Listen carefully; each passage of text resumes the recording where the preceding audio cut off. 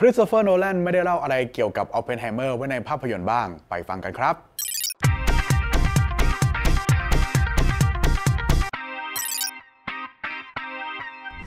ภาพยนตร์ Oppenheimer ของคริสโตเฟอร์โนแลนนะครับได้ทำให้คุณผู้ชมทั่วไปเนี่ยรู้จักกับเจโรเบิร์ต o p ป e n นไฮเมอร์บิดาของระเบิดอะตอมกันในมิติต่างๆนะครับแต่ว่ามีเรื่องอะไรบ้างที่ไม่ได้เล่าไว้ในภาพยนตร์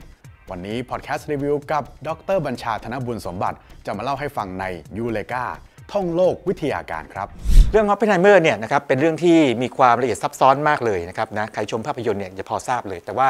วันนี้จะมาขอไฮไลท์นะครับเจ็ดเรื่องที่มีความสำคัญเกี่ยวกับตัวเขานะครับแล้วก็บางเรื่องเนี่ยอาจจะไม่เคยได้ยินมาก่อน Oppenheimer นี่เป็นที่ทราบกันดีว่าเป็นบิดาของระเบิดปรมาณูนะครับแล้วก็มีหลายคนยังเข้าใจผิดนะครับว่าเป็นไอน์สไตน์แต่ว่าตอนนี้น่าจะรู้กันแล้วล่ะเพราะว่าหลังจากภาพยนตร์ Oppenheimer เนี่ยฉายเนี่ยคนจะรู้ว่า Oppenheimer คือบิดาของระเบิดปรมาณูระเบิดอะตอมนะครับคนที่เลือกเข้าไปนะครับ ในพลกรูฟเนี่ยนะครับเลือกไปเพราะอะไร เพราะว่าความฉลาดทางวิทยาศาสตร์นะถามอะไรรู้มาก รู้รู้เยอะหมดหมดเลยนะครับนะแล้วก็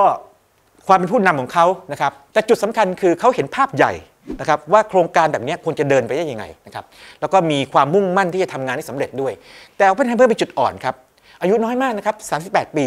แล้วก็ 38 ปีเนี่ยต้องไปดูแล นักวิทยาศาสตร์ชั้นนำที่ได้รางวัลโนเบลมา10กว่าคนที่เก่งๆทั้งเลยนะครับ แล้วก็ไม่เคยมีประสบการณ์การบริหารมาก่อนนะครับ แล้วก็ตัวเองก็ไม่ได้ไม่ได้รางวัลโนเบลด้วยนะครับ นอกจากนั้นเนี่ยออปเพนไฮเมอร์เนี่ยยังมีจุดหนึ่งที่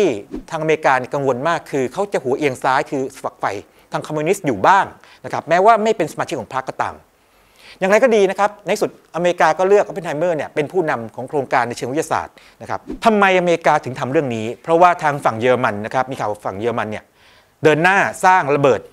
มหาประลัยระเบิดอะตอมขึ้นมานะครับผู้นำคือแวร์เนอร์ไฮเซนเบิร์กนะครับหนึ่งในบิดาของกลศาสตร์ควอนตัมนะครับแล้วมีนักวิทยาศาสตร์ชั้นนำนะครับมากมายเลยนะครับดังนั้นหากว่าเยอรมนีทำสำเร็จเนี่ยแล้วเกิดเยอรมนีชนะสงครามขึ้นมาเนี่ยนะครับโลกก็จะเป็นของเยอรมนีนะครับของญี่ปุ่น เป็นต้น เกิดอะไรขึ้น